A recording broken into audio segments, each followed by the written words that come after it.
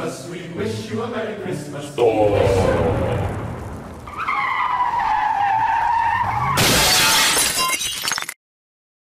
Try again.